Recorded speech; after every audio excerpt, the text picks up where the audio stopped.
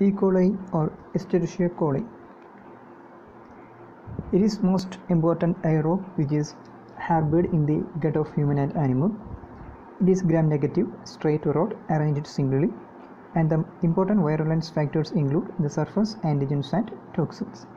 Surface antigen include somatic O antigen, flagellar H antigen, capsular K antigen, and fimbrial antigen.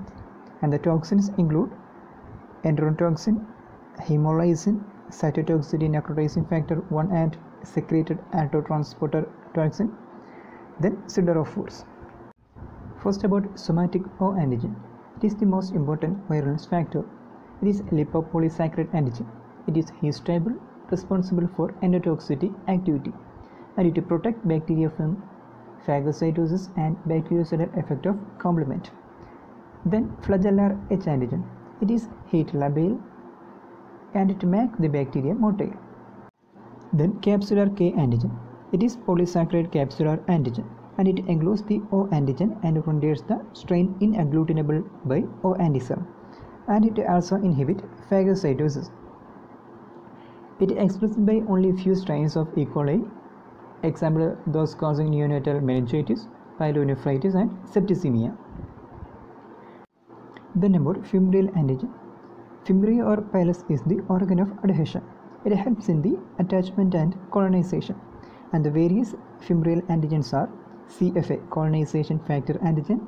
It is found in Enterotoxogenes E. coli and mannose-resistant Fimbriae, which is present in or expressed in Uropathogenes E. coli, and P. fimbriae, which bind to the P group antigens present on human RBCs and uroepithelial cells.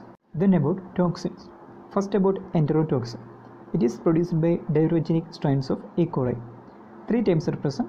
First is heat labile toxin, then heat stable toxin and verocytotoxin or Shiga-like toxin. Then about hemolysins. It is present in viral strains of E. coli, especially pyelonephritic strains. Then third toxin is cytotoxic necrotizing factor 1 and secreted autotransporter toxin. It is toxigenic to bladder and kidney cells. Then fourth toxin is siderophores. It helps in the iron uptake. Then about its clinical manifestations. The UTI and diarrhea are the main clinical manifestations. UTI is caused by uropathogenic E. coli and diarrhea is caused by six types of diarrheogenic E. coli that are enteropathogenic E. coli, enterotoxigenic E. coli, enteroinvasive E. coli, enterohemorrhagic E. coli, enteroaggregative E. coli and diffusely adherent E. coli. It also causes abdominal infections like bacterial peritonitis, hepatic abscess. Then ventilator associated pneumonia, neonatal meningitis, diabetic foot. These are also caused by E. coli. Then about diarrhea. We know that six types of diarrheogenic E. coli cause diarrhea. First about enteropathogenic E. coli. It is the frequent cause of diarrhea in infants and it also causes occasional sporadic diarrhea in adults. Then it is non-toxigenic and non-invasive and the mechanism of action is it adheres to the intestinal mucosa then form cup-like projections called pedestals then attaching and efficacious lesions are formed which leads to disruption of brush border epithelium and which cause watery diarrhea. Then enterotoxigenic E. coli. It is the most common cause of traveler's diarrhea. It causes acute watery diarrhea in adults and infants. And the most common serotype involved are O6, O18, O15, O25 and O153 and also O159. It is toxigenic and non-invasive. The toxin involved are heat labile toxin and heat stable toxin. It attaches to the intestinal mucosa by fimbriae called colonization factor antigen. Then about it, the toxins. Heat labile toxin. It resembles cholera toxin. It has two parts A and B. B are the binding part which bind to the GM1 ganglioside receptors in the intestinal epithelial cell.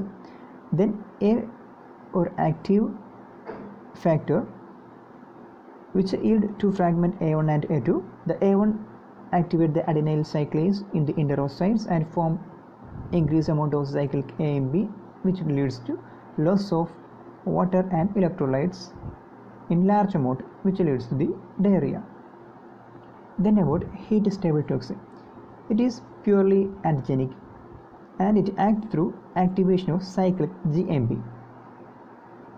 Then about enteroinvasive E. coli. It is invasive but not toxigenic.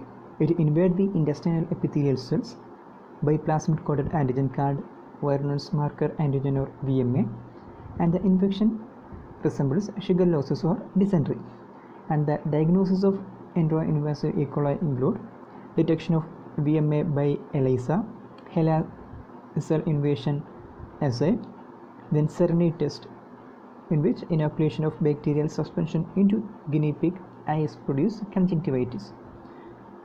Compared to other E. coli strains, enteroinvasive E. coli are biochemically atypical being non-motile lactose non-fermenters and negative for lysine decarboxylase. Then about enterohemorrhagic E. coli. It is also known as Shiga toxigenic E. coli or verocytotoxigenic E. coli. O157 or the H7 are the most common serotypes associated. It produces verotoxin or Shiga-like toxin. It is similar to Shiga dysentery type 1 toxin and severity ranges from mild diarrhea to dysentery, hemorrhagic colitis and hemorrhagic uremic syndrome. And the complications are more in young children and elderly peoples. And the cytotoxin has two subunit A and B. The A subunit inactivate the host cell 60S ribosomes which leads to inhibition of protein synthesis. And the target is vascular endothelial cells. The lab diagnosis of enterohemorrhagic E. coli involve detection of verotoxin in stools by demonstration of cytotoxicity in vero cells uh, and ELISA rapid test. And the detection of bacilli in stool, uh, it does not ferment sorbitol and produce pale colonies. And the rainbow agar in which O157 strains appear as black colonies. Then about enteroaggregative E. coli. Its intestinal colonization is mediated by aggregative adhesion fimbriae1. It produces yeast 1 toxin that is enteroaggregative heat stable toxin and the manifestations are persistent diarrhea. It is so named because it adheres to human epithelial type 2 cells in a distinct pattern that is stacked brick appearance on human epithelial type 2 cell. Then about diffusely adherent E. coli. It has the ability to adhere to human epithelial type 2 cells in a diffuse pattern and it causes diarrhea in children aged between 2 to 6 years old. Then about urinary tract infections caused by uropathogenic E. coli. These E. coli are the most common cause of community acquired as well as hospital acquired urinary tract infections. And the serotypes involved are O1, O2, O4, O6, O7 and O75 and the route of spread include ascending route as well as descending route. In a descending route, hematogenous seeding of E. coli in kidney occurs and which leads to pyelonephritis. And in ascending route, the E. coli colonizes the periurethral area, then ascend urinary tract to reach the bladder, which causes urethritis as well as cystitis. And the further ascent leads to pyelonephritis. Then about lab diagnosis. In lab diagnosis, the specimen collected include clean catch midstream urine, and in case of catheterized patients, urine is collected from the distal part of catheter. And in case of infants and the patient unable to avoid cases, we can get urine via suprapubic aspiration. And the transport. Normally it is processed immediately and in case of any delay greater than 2 hours, refrigerate the sample or which is uh, stored in boric acid or glycerol up to maximum 24 hours. Then direct examination. On macroscopic examination, we get frankly turbid or blood tinged urine. And on wet mount preparations, we get puzzles. And the term significant pyuria indicate the pyuria of more than 8 puzzles per millimeter cube or 4 lakh puzzles excreted in urine per hour is taken as significant. Then RBC castor, hyaline castor also significant in the direct examination. Then screening test which include leukocyte esterase test which detect the leukocyte esterase secreted by pus cells present in urine. Then nitrate reduction test also known as Gray's test.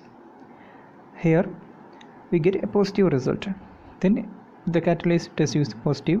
Then triphenyl tetrazolium chloride test. Then glucose test paper. Then gram staining of urine. It is not reliable indicator as the bacterial count in urine is usually very low. Then about culture. The ideal culture medium is ZLED, cysteine lactose electrolyte deficient medium, which is a differential medium and it is partially selective medium and it support the growth of all uropathogens and it prevent the samming of protease. The commonly used mediums are McConkie agar and blood agar and uh, in the figure we can see the colonies, the flat pink lactose fermenting colonies of E. coli on the McConkie agar. The arrow showing the colonies. And in blood agar we can count the colonies and on McConkie agar which is used for the differentiation of the colonies. Then about cause concept of significant bacteriuria. There is a fact that urine in the bladder is sterile, but it get contaminated during voiding by commensal flora in the distal urethra. But bacterial count in the contaminated urine is lower than that during infection. So a count greater than or equal to 10 raised to 5 colony forming units per ml in a clean catch midstream correctly transported urine is considered as significant bacteriuria. Then counting of bacterial colonies. First about semi-quantitative method. It uses a standard size loop. It pick a definite standard volume of urine for culture. Each colony on plate corresponds to one bacterium in urine. Then quantitative method that is per plate method which is complicated for the routine use. Then identification. E. coli are catalase positive, oxidase negative, indole positive and urease negative and it is citrate not utilized as well as TSI we get acid or acid with gas. In short we can say that IMVIC positive positive negative negative. Then antimicrobial susceptibility testing. It detects the antibody coated bacteria detected by IFA or co-agglutination methods. Then treatment. The drug of choice is ciprofloxacin 500 mg BD for 3 to 5 days. Also nitrofurantoin 100 mg BD for 7 days are given.